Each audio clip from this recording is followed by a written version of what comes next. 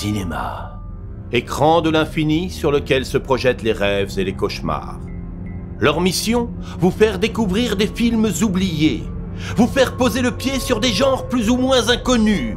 Et au mépris de votre santé mentale, vous faire avancer vers des contrées nanardesques. Le seul hic, c'est qu'ils ne le savent pas encore. Voici leur émission.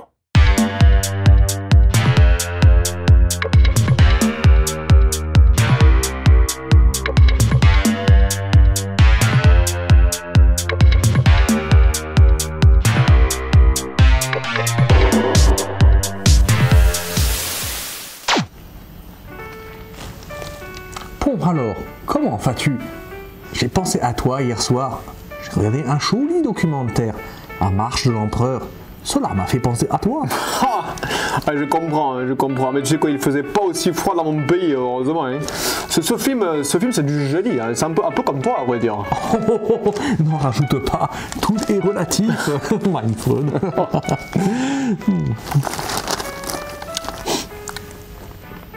Dis-moi, on ne grignoterait pas quelque chose? J'ai un petit peu faim. Ah, euh, t'as f- fais voir ta langue? Ah, Oh là, mais qu'est-ce qui t'arrive? T'as une, une rôle de couleur sur ta langue aujourd'hui. hein. C'est bizarre, il faut que tu regardes ça. hein. Ah, ah ouais, écoute, euh, moi, j'ai personnellement, j'ai pas très faim. J'ai un peu mal à l'estomac, pour tout te dire. D'ailleurs, en parlant de manger, j'ai vu des nouvelles photos de ta nouvelle cuisine. Oh C'est une cuisine photo électrique. Ah bah, ah bah, euh, bien, bien vu, comment tu sais, toi, toi, tu, toi, tu, es, tu es calé, toi, toi tu, tu l'as pas volé ton prénom, ça je peux te le dire. Et avec tout cela, Oui. on peut dire que tu as un Bonaparte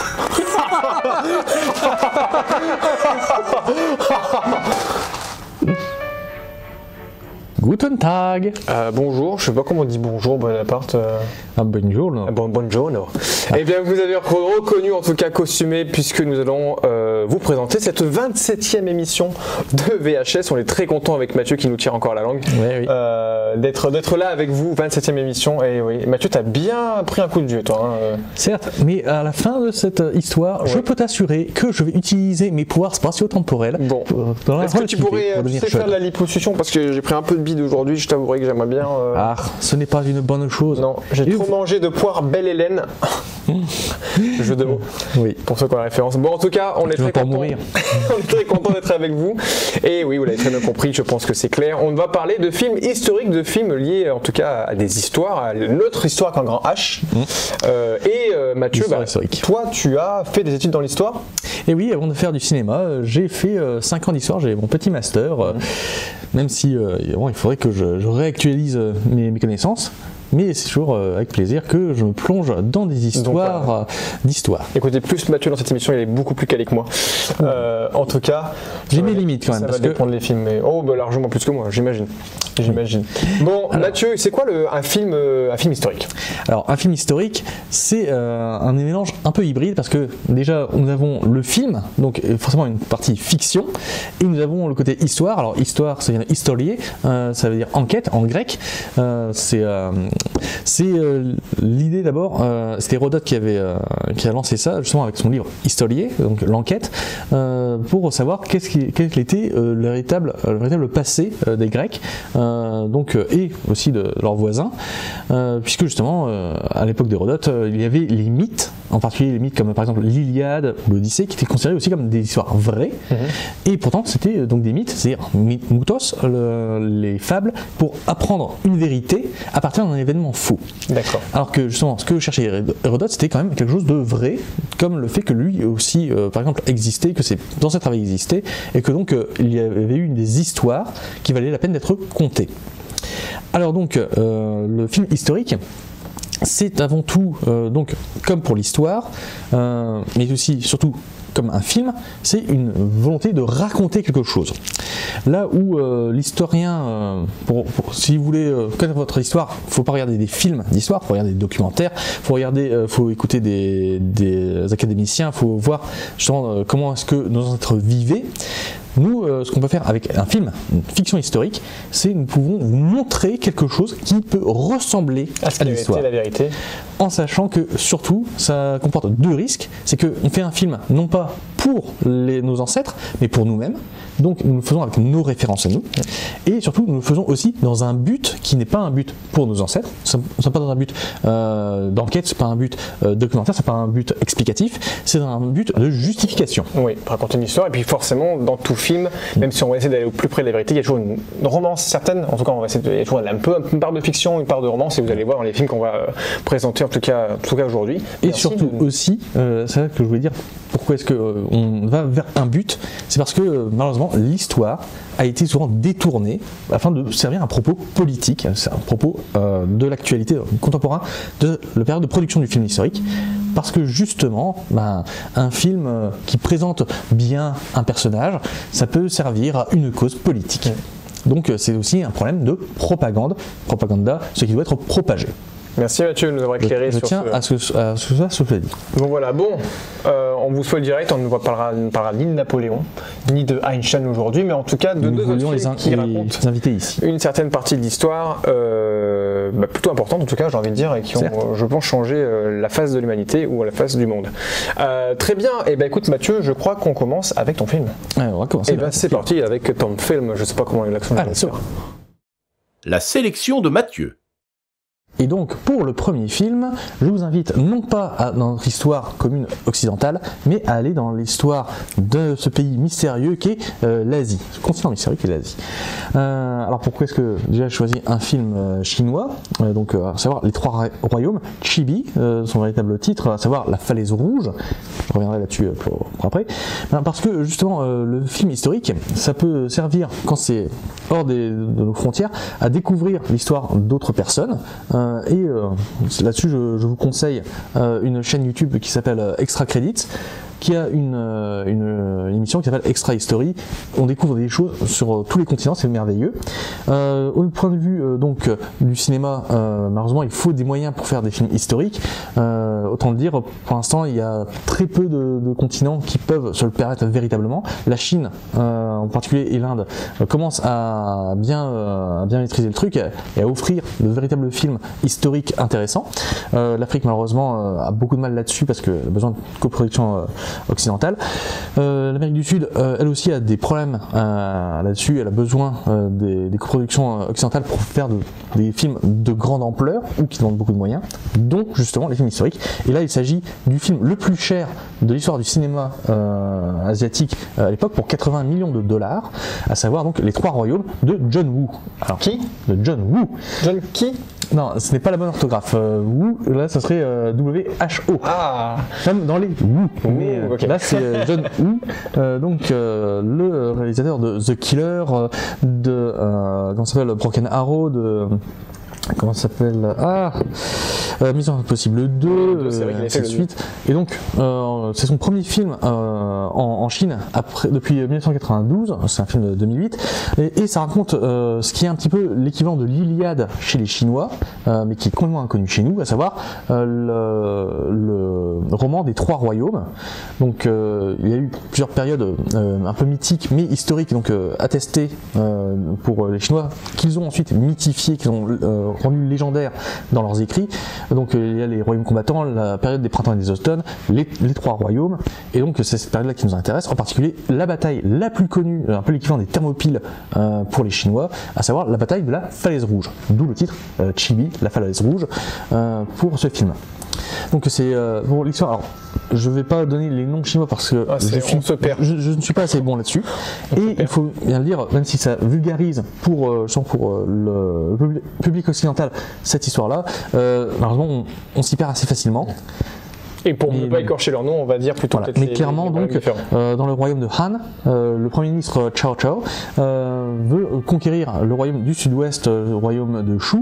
Et euh, donc, euh, quand le royaume de Shu demande l'aide du troisième royaume, le royaume de Wu, euh, ben, Chao Chao est très mécontent et envoie euh, 800 000 hommes et 2000 navires descendre le Yangtze-Kiang Yangtze-Kiang pour euh, ben, leur mettre la pâtée. Et euh, justement, les, euh, les rois euh, et, euh, et plénipotentiaires des deux royaumes donc, en, guerre qui, qui sont alliés vont rivaliser, d'ingéniosité pour vaincre le Premier ministre Cao Cao, le Premier ministre de l'Empereur, afin de, d'empêcher sur cette annexion par, par la force de, de, de cette partie. Alors, ce qui est intéressant là-dedans, déjà, non, avant de dire ce qui est intéressant, d'abord, qu'est-ce que toi tu en as pensé? Alors tu aimes mon amour pour le cinéma asiatique. Oui. Et j'ai hâte d'ailleurs que le thème vienne parce qu'il est dans les prochains thèmes à piocher. Mais j'ai un très bon film euh, lié à ça. En tout cas, non.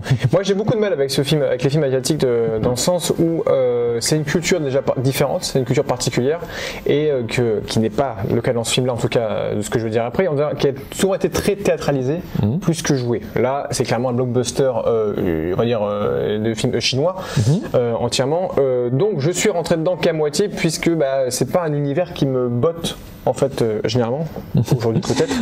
Mais euh, non, en tout cas, qui- ça. qui- ouais, c'est des cuissardes on les voit peut-être pas à l'écran on regarde les belles cuissardes je suis en chaussettes bref euh, en tout cas bref mais en tout cas c'est un film qui est visuellement assez époustouflant. La mise en scène est j'ai envie de dire très virtuose. Il y a vraiment des, des plans plutôt plutôt cool et les, les scènes de bataille sont plutôt intéressantes. Mais en termes d'histoire pure et dure c'est pour ça que je t'ai demandé avant l'émission si c'était une vraie histoire parce que j'arrivais du mal à, à cerner en tout cas la, la dramaturgie du film puisque bah il y a des retournements de situation qui sont pour moi plutôt euh, ah, plutôt moyens quoi Là, euh, je reprends. Alors, euh, il faut savoir que le, roman d'origine, donc, si la bataille a lieu en 208 de notre ère, l'ère commune, le roman d'origine, lui, a été écrit au XIIIe siècle de notre ère.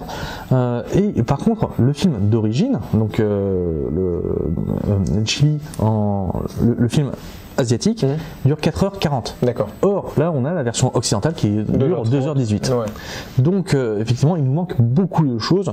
Euh, c'est malheureusement dommage, mais c'est euh, la volonté des distributeurs de dire, bah non, on peut pas rester devant un film chinois pendant pendant des heures et des heures.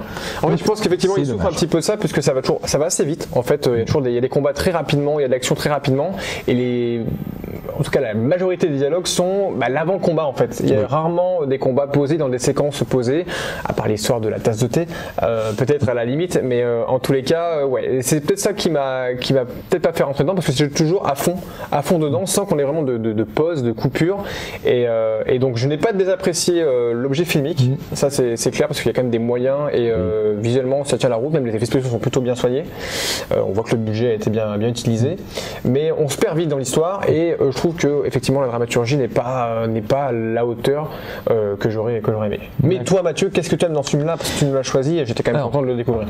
Alors moi je l'ai choisi tout simplement parce que euh, moi j'apprécie énormément le, le cinéma asiatique, euh, dans, dans l'ensemble du cinéma asiatique, euh, parce que justement il y a une morale différente qui permet de se confronter soi-même à sa propre morale. Et là c'est un film, bah, un film pour la Chine, puisque c'est euh, une bataille légendaire très importante. C'est aussi une bataille qui représente beaucoup l'esprit chinois. C'est, euh, ça fait partie de ces films justement euh, pour la République populaire de Chine de, de, de donner un sentiment national très fort et en même temps qui, qui donne bien le- leur esprit, puisque justement c'est une guerre civile, puisque ce sont bien des peuples chinois qui se reconnaissent comme étant chinois, euh, un peu à la manière justement de- des guerres entre les Athéniens et les Spartiates, pour reprendre la- les histoires euh, que notre histoire classique à nous. Euh, donc ils se reconnaissent comme étant un seul peuple, et donc c'est la question, c'est quelle, quelle partie du peuple va, va prédominer. Et surtout, ce qui m'a beaucoup plu et qui est intéressant, c'est que même s'il y a un méchant entre guillemets, Chao Chao, euh, il n'est jamais dé- dé- diabolisé, jamais montré comme étant un méchant. Il y a Et dictateur, il a- il- a- non c'est vrai. il a, vrai. il a ses raisons, et simplement c'est la raison d'État. C'est le côté extrêmement pragmatique et, euh, et humain euh, de- des Chinois et de leur sphère d'influence culturelle. Euh, on trouve ça aussi au, au Japon par exemple. On, alors, on peut avoir des, des méchants très méchants, euh, des, êtres démoniaques, Ouais, mais ce côté archétype Mais effacé en fait dans le film. hein, euh, Mais totalement. justement, on, on peut toujours trouver une raison. Il n'y a jamais de diabolisation totale d'un adversaire, puisque le, le but euh, des, euh, des, des Chinois à la guerre, Sun Tzu avait écrit son, son traité de, de la guerre bien des années avant, bien des siècles avant cette bataille, c'est non pas de détruire l'ennemi, mais de le faire venir dans votre camp, donc de le briser moralement pour qu'il devienne euh, votre vassal. C'est euh, jamais- alors que pourtant comme c'est un pays qui a toujours été très peuplé, euh, normalement on s'attendre justement il y ait facilement des massacres puisque la vie humaine serait moins importante, mais non, au contraire c'est beaucoup de respect de la vie humaine et ça c'était un aspect très positif euh, dont je pense que nous devrions prendre exemple sur beaucoup, sur, dans beaucoup de, de moments. Voilà. Très bien, très bien. Et bah écoute, euh, moi sur le film, bah, je- moi je vous conseille quand même de, de le regarder parce, qu'évidemment, Oui. parce qu'en fait c'est juste que le film euh, ne m'atteint pas parce que c'est pas un mon genre de film à la base, mais il est très bien fait pour, pour les moyens qu'ils avaient. Ils les ont plutôt bien. il faut trouver la, la version longue pour avoir la vraie la histoire. vraie histoire, en tout cas. Ok. Merci Mathieu pour ce film. Ah mais je vous en prie. Merci, merci. J'ai hâte de voir le tien. Bah, c'est parti, c'est à 3, 2, 1, maintenant. La sélection de Fabien. Et oui, c'est parti pour mon film. Euh, moi, c'est un film qui m'a marqué, euh, qui est plutôt récent, et je l'avais vu au- au- en projection presse d'ailleurs euh, en 2015, puisqu'il est, il est sorti en 2015. C'est un film hongrois et euh, qui va nous parler malheureusement d'une face noire euh, de la Deuxième Guerre mondiale, forcément les camps de concentration, à Auschwitz en 1944, et le film s'appelle Le Fils de Sol. Pour moi, c'est un des films euh, les plus percutants, euh, les plus, euh, les plus transpirants de ce qui pouvait être, en tout cas, ce qu'on pouvait imaginer, en tout cas d'après les écrits, d'après tous les retours qu'on a pu avoir, les témoignages, ce qu'était cette époque-là en 1944, puisqu'on va suivre Sol, le personnage principal, qui est un Sonderkommando, euh, qui est en gros un juif qui travaille pour les nazis pour faire le, le- le- entre guillemets le, le boulot. le- Un prisonnier qui est affecté euh, voilà. au crématorium. Au crématorium, donc il va s'occuper euh, d'envoyer ses congénères, euh, entre guillemets, j'ai envie de dire à l'abattoir, hein, c'est c'est clairement le, mot. Et euh, dans cette folie qui, est, euh, qui était ce, ce moment de l'histoire, ce personnage va un jour euh, penser, reconnaître euh, dans les cadavres qu'il va euh, extirper de ce lieu, son fils. Voilà. Et le mystère va rester très garçon. flottant, voilà, un petit garçon sur ce, sur ce personnage-là. Et euh, à travers ce- cette histoire, là où le reste que du groupe des soldats commandos vont tenter une révolte, euh, lui va tout faire pour trouver euh, un rabbin et enterrer dignement son fils. Voilà. Dans cette folie. Voilà, donc le, le trait, l'histoire, elle est là. Je vous spoil rien, la bande-annonce le racontait en tout cas comme ça. C'est un film de Laszlo Nemes. Euh, donc c'est un film hongrois. Son premier film d'ailleurs. Son premier film et qui a gagné l'Oscar du meilleur film étranger du coup en 2016 l'année d'après. Voilà. Et euh, moi c'est un film qui m'avait vraiment retourné. Euh, je l'avais vu le matin et je peux vous dire qu'à midi je n'avais pas beaucoup mangé puisqu'il a euh, cette par- particularité de, euh, de, de mise en scène, ce parti pris, de coller Le le personnage, personnage principal toujours assez près, euh, cadré épaule, en avant, en arrière, mais pour confiner ce personnage, avoir cet effet d'enfermement et euh, de suggérer plus que de faire voir, mais toute l'horreur que pouvait euh, montrer, pouvait être à l'époque. Un autre élément aussi de cette mise en scène qui est très intéressant, c'est que justement, euh, dans, il y a ce qu'on appelle le, la, la zone de netteté, c'est bien que tout ce qui est hors de la zone de netteté devient flou, et euh, justement ça représente aussi l'état d'esprit du personnage, puisque euh, ben, pour euh, survivre aux horreurs qu'il qu'il voit autour de lui, justement, il s'enferme et donc euh, tout devient flou. Ouais. Euh, c'est bien que ça devient une sorte de brouillard, Ouais. un brouillard mental. Notamment, le son est dignement plus important Ah oui. que, que l'image. Et d'ailleurs, le premier plan, le premier plan d'ouverture du film, c'est un homme qui est par terre, je ne sais plus, c'est très très flou, on a une image. Et on attend ce personnage principal Mm. s'avancer. Et à ce moment-là, la caméra ne va plus le lâcher, en fait. Presque, euh, voilà. Donc, j'ai des, dit un des longs plans séquences très, très Ouais. Pourquoi je l'ai aimé déjà dans un sens Et toi, Mathieu, qu'est-ce que tu en as pensé Qui l'a découvert du coup? Alors moi je l'avais découvert parce que justement je l'ai raté euh, au cinéma. Euh, c'est un, c'est un, sujet très compliqué évidemment la Shoah euh, puisque c'est euh, un film euh, c'est une histoire pardon euh, qui est qui est très euh, très dure et surtout euh, là c'est très polémique de- d'en parler parce que si on n'en dit pas entre guillemets que c'est horrible et tout ça euh, et surtout que les représentations qui en sont faites sont des, des chefs-d'œuvre comme ça, on, ça peut être assez, assez dangereux. Là actuellement, Jair Bol- Bolsonaro, le président brésilien, pourtant qui était bien du côté d'Israël, a fait la connerie de, de dire qu'il faudrait pardonner les crimes de la Shoah. Pour quelqu'un qui a transféré son à, Jérusalem, autant dire qu'il est en train de la sentir passer. Euh, donc euh, là-dessus, c'est un sujet très très très touchy. Euh, moi, le souci là-dessus, c'est que justement, c'est une partie, ça fait partie de ces films historiques. Là-dessus, j'avais rien à dire. Je ne vais pas dire les la mort, ça trouve, ça n'a pas existé ou tout comme ça. Non, ça a existé. C'est des trucs dégueulasses et effectivement, c'est monstrueux. Mais le problème, c'est que justement, là, on montre un film qui n'est pas un film pour apprendre quelque chose de nouveau. Non. On, on- on découvre une nouvelle façon de montrer, cette montrer, horreur, voir, bien sûr. Et, et le parti pris en tout cas du personnage. Voilà, mais euh, le souci c'est que ça fait partie de ces films qui, à mon avis, servent plus à, euh, à transmettre une mémoire et surtout transmettre un sentiment, et plutôt un sentiment justement de, dégoût et d'horreur, plutôt que de travailler à une catharsis. Euh, encore une fois, c'est un sujet très polémique, donc je ne peux pas euh, dire euh, que c'est le genre de film qu'il ne faudrait pas faire. mais c'est le genre de film qui, malheureusement, je trouve, sont enfermés et donc enferment les personnes qui sont qui se projettent dedans, dans justement euh, bah, un enfer. Et, euh, c'est toute l'horreur, parce que ces saloperies de nazis ont, déversé euh, dans, la, mentalité collective euh, actuelle. Ouais, mais c'est on regardait, que j'ai regardé avec ma copine, du coup, qui l'avait pas vu et qui était très choquée aussi. De... sûr. On sait, on a vu dans les livres d'histoire, on a vu dans les documentaires, on a vu euh, plein de films aborder ce sujet-là, mais le fait de revoir encore euh, bah, la- leur façon de, de faire, quoi. Donc, euh, en- entre les chambres à gaz, entre les crématoriums, entre les tuer au bord de la fosse parce qu'ils étaient euh, en, en afflux euh, incroyable de, de, ce- de, ces, de ces Le, fait, de- le fait de jeter les sangs dans, dans- dans la rivière. dans la rivière, voilà, il y a tout un message qui est, qui est, euh, bah, en tout cas une façon de faire et un message qui est, qui est plutôt horrible en fait dans, dans un sens. Et à travers cela, à travers cette horreur, moi je trouve que ce qui était bien, c'était ce parti pris de ce personnage Mm. qui ne veut plus voir, qui ne veut plus ressentir, qui, qui veut juste bah, faire une action humaine. Voilà, on ne sait pas si c'est son euh, fils. Moi voilà, vous ferez votre version. Pour moi, c'est peut-être pas vraiment son je, fils. je pense pas non plus. mais- Voilà, mais en tout cas, voilà, c'est ce, ce combat de cet homme d'arriver à un objectif à travers l'enfer. Euh, Et en plus, c'est un, objectif religieux, parce Ouais. que justement, c'est euh, arriver à, à accomplir le bon rite pour, euh, pour- La bonne enfin, pour, voilà, ce- c'est pour le repos de, de cet enfant. ouais. Donc, un, un acte à la fois courageux et fou, Mm. dans, un, dans un univers complètement fou. Je pense qu'en fait, le, le, le meilleur.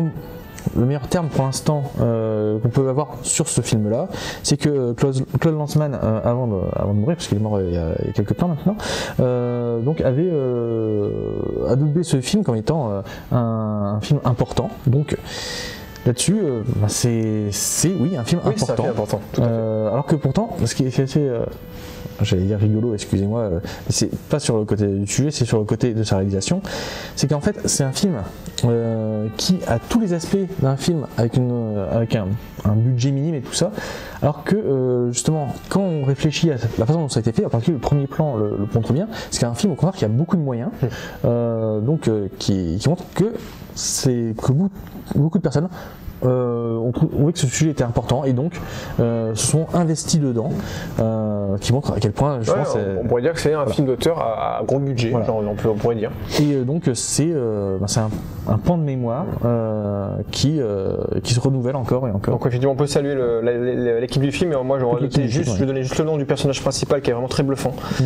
Euh, et qui a cette cette mine, cette, ce visage qui va tenir tout le long du film et qui qui va pas dégager beaucoup d'émotions. Mm. Certes, mais justement, c'est parce qu'il ne peut plus et qu'il est complètement enfermé dans dans, dans ça cette passe par bulle. le regard. Effectivement, donc euh, Sol qui est joué par, alors j'ai peut-être euh, mangé son nom hein, malheureusement. C'est en hongrois. Alors moi, c'est Gésaro Rorig ou alors Gézaro Rorig, je sais pas comment comment comment on va le dire. De ce que j'ai vu sur, euh, sur Wikipédia, c'est un auteur et un poète euh, hongrois, donc euh, c'est, je sais pas s'il est acteur de formation.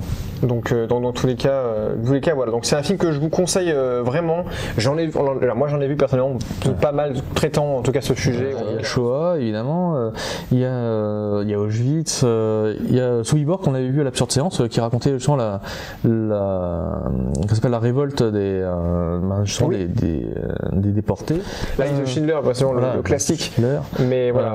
Euh, Et, et pour moi, voilà, il instruit plus, il instruit plus, effectivement, comme tu disais, plus une notion de, de mémoire ou en tout cas plus que de plutôt que plutôt que justement un moment d'analyse. Ouais. C'est vraiment un film émotionnel. Ouais. C'est pas un film justement de, de réparation. Ouais. C'est, euh, Donc voilà, c'est les deux films qu'on vous conseille en tout Mhm. cas, des trois royaumes en passant par, euh, par le fils de Saul, deux films qui étaient moins connus mais qui nous racontent un pan de l'histoire plutôt euh, très intéressant.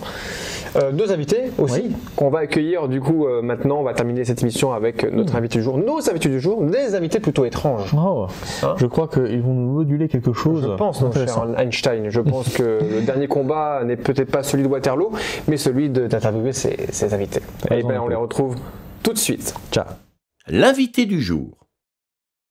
Et nous revoilà dans cette deuxième partie d'émission et on est très content d'accueillir nos deux invités ce soir. Bonjour. Alors, on les connaît sous le nom des modules étranges, mais qui se cache derrière? Et ben c'est Stéphane Maxime et Edwina Bolays. Edwina. Edwina. N'oublie pas Excusez-moi, voilà, je, je, je suis pas. euh, Pour, pour parler. donc, euh, donc voilà, donc on va prendre le micro pour, pour parler et c'est Mathieu qui nous a concocté la présentation de votre euh, univers. Alors j'espère que je vous rends justice en disant ceci. Les modules étranges est un groupe de musique nantais créé en 2007. Parce que tout est bon. Mélange de punk, industriel, musique industrielle et gothique. Euh, leurs disques sont des ambiances savantes et oniriques. Une invitation au voyage psychique et dérangeant. Nous recevons aujourd'hui donc Elvina et Stéphane, le duo de ce groupe singulier et même inclassable pour leur travail en clip et en musique de film. Soyez les bienvenus. Merci. Donc oui, on a, voilà, on a parlé, on avait eu beaucoup d'invités autour euh, de la production, de la, de la production, de la, de la pré-production, de la production et de la post-production. On n'avait pas- on n'avait pas eu beaucoup qui nous parlaient de musique et c'est pour ça que vous êtes là ce soir parce que bah, vous commencez en tout cas avec le parcours qu'on va, qu'on va un petit peu cribler ou en tout cas identifier avec vous après sur euh, bah, la musique filmique parce que bah, la, film, la musique c'est quand même un, un grand pan de, du film. Ça, C'était là même euh, quand c'était des films muets parce que justement on utilisait euh, des orchestres euh, de fausses ou bien euh, simplement un, un piano pour euh, donner l'aspect forain justement des premiers films. donc, Et, donc, des fois, il y a Et encore aujourd'hui, la, la moitié de l'ambiance, ça peut être la musique ou l'absence de musique. C'est vraiment un travail important, mais malheureusement très peu connu. Très peu connu. Et vous essayez de nous en parler, en tout cas, à votre niveau, et en tout cas, avec votre passion musicale. Euh, moi, je vais commencer avec la première question, tout simplement. Euh, chacun de vous deux, mais qui, euh, est-ce que vous pouvez parler de votre parcours un petit peu artistique Qu'est-ce qui vous a mené à, à être dans ces modules étranges aujourd'hui Alors les modules étranges, euh, ça a commencé comme un groupe euh, normal euh, qui fait des concerts, des disques, etc. Et dernièrement, on s'est plus plongé dans la musique, oui, on, peut dire plus de- d'ambiance, enfin qui évoque plus le cinéma effectivement. euh, L'instrumental, du coup L'instrumental, euh, il y a des voix, mais elles sont utilisées euh, à des fins musicales plus que Des chœurs, des choses comme ça. Ouais, ou c'est moins le- c'est moins l'idée de raconter une histoire par les mots, mais euh, par par la musique. Euh, oui, effectivement, euh, depuis que j'ai rejoint le groupe euh, en 2017, euh, c'est c'est ça en fait. euh, je voulais euh, apporter euh, ce, ce- comment dire, ce changement lié un petit peu au- à l'univers de film, puisque c'est ma manière de composer et euh, de m'inspirer d'un univers pour, euh, pour composer euh, des morceaux. Et, euh, et donc du coup, euh, c'est euh, c'est intéressant euh, cette, cette nouvelle orientation. Et euh, vous, vous avez fait comment vos, vos études, vos, Une formation la musique à la base euh, ou autodidacte total? Pas du tout. Ah. tout. C'est la rencontre avec Stéphane qui a fait que euh, voilà et l'amour de la musique euh, pour ma part euh, déjà depuis longtemps. Voilà, la passion. Alors, en ce qui me concerne, j'ai eu des cours de guitare il y a très très très longtemps et euh, Et tu nous joues un morceau juste à la fin de la mission Ouais. Non, Oh oui. Mais où est la guitare? Allez, on l'a pas amené. C'est étrange. air guitare. Air guitare, ouais, ça peut le faire aussi. D'accord. Et du coup, dans ce groupe-là, donc vous êtes combien en fait en, Vous êtes tous les deux ou il y en a, il y en a d'autres encore? Bah, on est deux et euh, on s'interdit pas d'inviter des euh, Des guests. des, euh, ouais des guests et puis euh, ouais ils apportent quelque chose euh, des choses que nous on ne saurait pas faire forcément donc ça, ça apporte en fait c'est pas juste des guests pour euh, pour avoir des guests D'accord. Alors, moi, justement, Edwina, tu, tu as dit que tu es membre depuis 2017, donc euh, c'est c'est assez récent.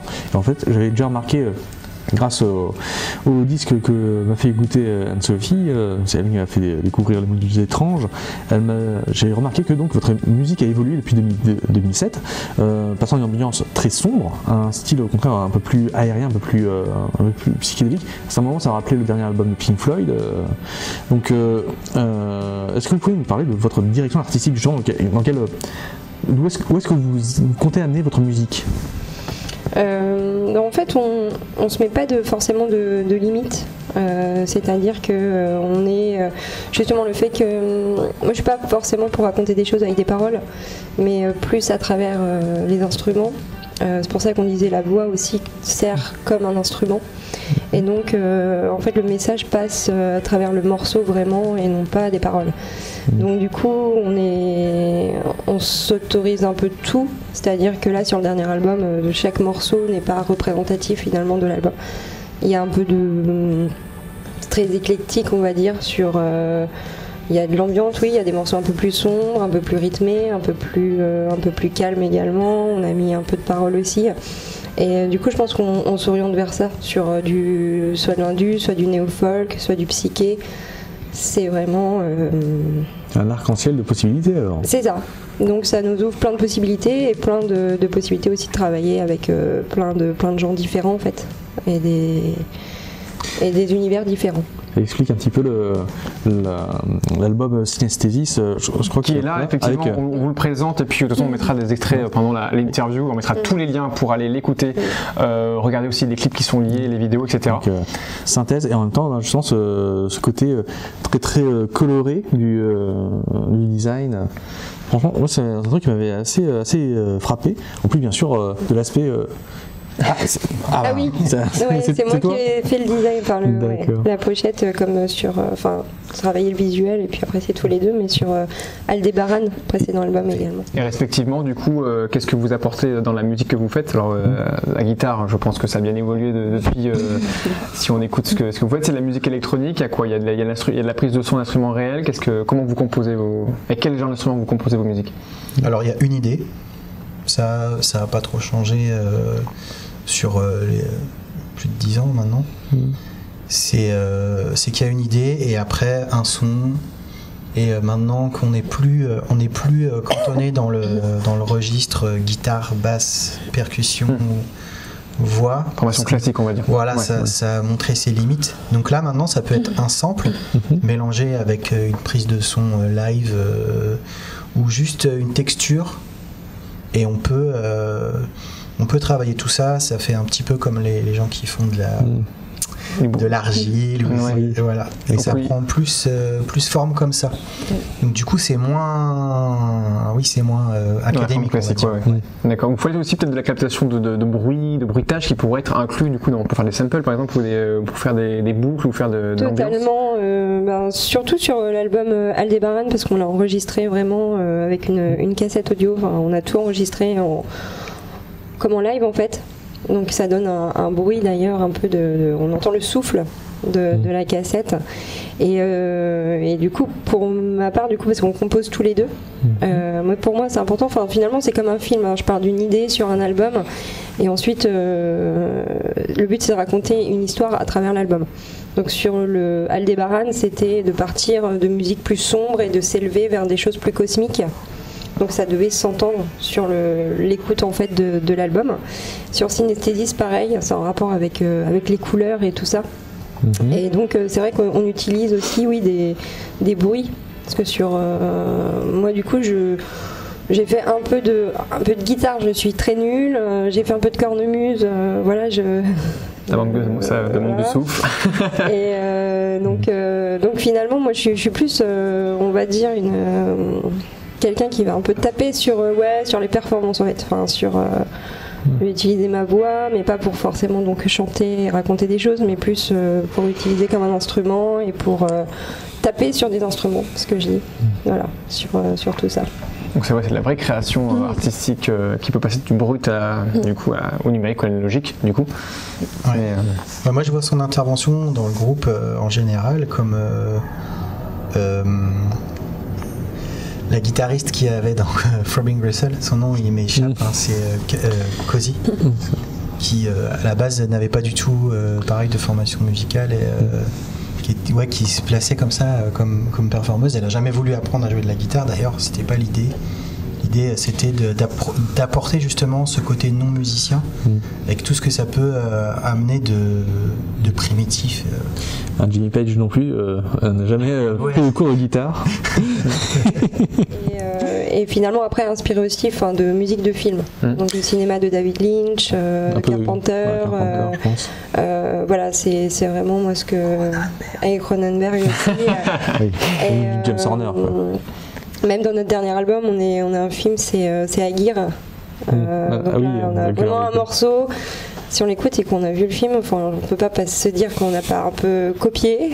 Inspiré, on va inspiré. Moi j'ai une question puisque bah, forcément les gens qui nous regardent et qui nous suivent depuis maintenant un bout de temps, euh, euh, comment est-ce que vous vous appréhendez la composition vraiment de la musique de film? Parce que vous avez notamment Mathieu était un petit peu le premier à, voilà, à vous lancer sur cette voie, on va dire euh, cette voie-là. Euh, Qu'est-ce qui change par rapport à ce que vous faites d'habitude? Ou en tout cas comment vous avez appréhendé le travail euh, musical d'une bande originale? Euh, moi, j'ai voulu l'appréhender comme j'appréhende une composition d'album, c'est-à-dire euh, de partir d'un univers. Donc là, pour le coup, il était euh, bah, donné. Donc il y avait cette contrainte. Euh, donc moi j'ai voulu coller au plus près en fait. J'ai voulu regarder, regarder, regarder la vidéo. Et en fait, il fallait que pour moi la musique colle à l'émotion qu'on ressentait euh, à chaque scène en fait. Donc euh, là, essayé de transcrire. euh, voilà, si au début euh, on sentait, euh, pardon, euh, euh, enfin je repense au, au film du coup, mais au début il y a une sorte d'attente, d'observation. Il fallait que ça. que Donc, il fallait voilà, voilà, vraiment l'image, du coup. C'est ça. Ouais. Après, il y avait des scènes plus euh, de surprise, d'effroi et de sur, enfin voilà aussi. Donc il fallait que ça se ressente dans la musique. Et euh, donc c'était ça qui était cool en fait. Mm. C'était de, de s'adapter au mieux et que ça colle euh, vraiment à l'ambiance pour que parce que la musique ça fait beaucoup au cinéma. Euh, Il suffit que on mette la bonne musique au bon moment et en fait on sursaute avant même que l'image apparaisse. Euh, donc euh, donc c'est euh, c'est ce qui fait tout. hein. Quand on regarde un, un film d'horreur sans la musique, euh, ça fait. Ah bah l'ironie dramatique, il y a déjà beaucoup moins. Voilà. Et euh, effectivement, c'est, en tout cas pour le film, le genre de film d'horreur, c'est effectivement une, une- une grosse patte, effectivement. Shining sans sa musique, euh, c'est c'est une grosse grosse perte. effectivement, c'est bien d'accord. Ok, ok. Ben, en tout cas, c'est un appel qu'on peut faire. S'il y a des réalisateurs nantais, ou en tout cas de la, la région euh, nantaise, qui veulent, euh, qui veulent, euh, eh ben, euh, rendre leur film beaucoup plus musical qu'il ne l'est. Mais en tout cas, voilà, c'est hein, c'est ça. Je, je donne le droit de venir vous contacter, donc pour bosser avec eux, et il sera un plaisir, j'imagine, de, de travailler sur des projets. euh, Il y a des, des échantillons de, de leur talent euh, sur, sur YouTube déjà, sur internet. Ouais, on sur, tous les liens dans la on description. C'était comment? Quel Bandcamp. Bandcamp, Ouais. voilà. Et donc. Et Spotify m'a dit Deezer, voilà, on mettra tous les liens, vous inquiétez pas pour aller euh, les écouter. Est-ce que vous, euh, euh, bah, je pas envie de dire fermé, mais est-ce que vous restez plus dans l'ambiance de film de genre, film d'horreur, ou est-ce que vous serez tenté de faire peut-être du drame ou faire euh, d'autres styles de d'autres styles de genre euh, filmique de la comédie potache. Ah bah, ça peut être un challenge. Ouais, comédie burlesque, même on peut y aller. Ça, ça peut être drôle, mais euh, je sais pas. Faut voir. Il y a beaucoup de films de genre sur, sur Nantes. Hein, Stéphane, euh, Morel, Mogoma, on peut parler aussi.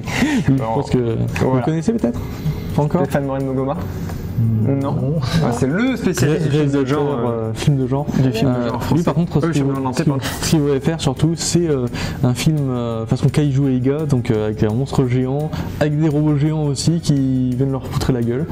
Donc euh, il y, a, il y a de quoi faire. euh, Mais voilà, puis de aussi, dans le délire, on vous mettra en contact. Oui, il y a le délire aussi du film euh, L'Exorcisme, le film très. euh, on mettra en contact. Je pense qu'il y a quelque chose à faire entre, euh, entre, vous, deux- entre vous. Ben, Donc, euh, Justement, en attendant de cette ren- rencontre, est-ce que vous avez euh, de futurs projets, une composition de, de films, des clips, euh, là donc des tournages euh, à venir ou Bah, besoin de réalisateurs L'équipe là, euh, du coup, euh, oui, pour promouvoir du coup le, le dernier album, il nous reste encore quelques exemplaires à vendre. il est sorti quand exactement? De cette année, du coup? Euh, oui, on est sorti mars. Ouais. Et euh, voilà, c'était un petit tirage. hein, euh, eu en avant-première, hein, toi et moi. Oh la chance et, euh, et du coup, c'est vrai que donc les clips, bah, pour finir la promotion de, de l'album. Après, euh, de toute façon, nous, ce qu'on aime faire, c'est vraiment composer. Donc c'est pas après que les gens soient réceptifs ou non, euh, bah, c'est un plus hein, finalement. euh, si on vend des albums aussi, euh, voilà. Mais moi, ce que j'aime, c'est vraiment composer et ensuite. donc c'est pour ça que oui, pour des réalisateurs Mm. de, de films ou parce que là, du coup, ça met vraiment en valeur notre. euh, et puis nous, c'est ce qu'on aime faire, quoi. Euh, chez nous, voilà, composer, on fait, euh, et ensuite, on propose, voilà. Et ben, ça fait un plaisir en tout cas pour nous de vous avoir avec nous. Merci d'avoir partagé votre passion euh, musicale. Et, euh, C'est et puis, l'heure. euh, et ça va être l'heure. Et on voulais juste repréciser du coup le dernier album, Les Modules étranges, donc Cinéasthésie, si je me trompe pas, c'est ça euh, qui est sorti du coup il y a deux mois et on mettra tous les liens pour les retrouver musicalement ou, ou sur toutes les infos sur, dans, la, dans la description et effectivement maintenant c'est l'heure c'est l'heure, c'est l'heure, Ah, ça me rappelle chose, ça. C'est l'heure du coup de piocher le thème du mois prochain. Voilà, Le et c'est encore vous. Je sais pas qui est à la main la plus innocente, mais euh, mais en tout cas. Allez, Ça la, petite vous. nouvelle, évidemment. Et on a refait un petit. J'ai rechargé. Il y a des encore des que thèmes. te re- re- redonne les thèmes parce que j'en ai Bah, quelques-uns sous le chapeau. Sous la main. Alors c'est parti. Le mois prochain, on va vous parler de. Les remakes. On va Oh, parler les remakes, Il y en a eu des très bons, même des fois meilleurs que l'original, mais des fois il y a eu des grosses purges. On peut, je Oui. pense, euh, cela ouais. Donc on parlera de remake Euh, remake du coup euh, le mois prochain. Pour pas refaire de remake, ne regardez pas peut-être pas dix fois la même émission, mais retrouvez-nous en tout si. cas le mois prochain. vues. Si, si. si si- si, euh, on, on est bon, euh, n'hésitez pas à revoir nos émissions. Voilà, en tout cas, effectivement, on parlera de remake. Euh, merci d'avoir été avec nous, Stéphane et Edwina. Et puis, on se retrouve du coup le mois prochain, je me répète. En tout cas, pour parler de remake. Et euh, n'hésitez pas à nous suivre sur la page Facebook, sur la page YouTube. Le printemps est là, ça fait du bien. Et Mathieu, on va finir avec le- la phrase, le mot de la fin. Euh, floraison. Floraison? Très bien, floraison. Eh c'est le, mot de la fin. C'est le printemps et euh, c'est la synthèse justement des, des plaisirs des yeux, des, des oreilles et, euh, et de l'odorat. Très bien. Bon, Et et du ben, on se retrouve tout, le mois prochain. Et on vous dit, prenez soin de vous. Et ciao Ciao.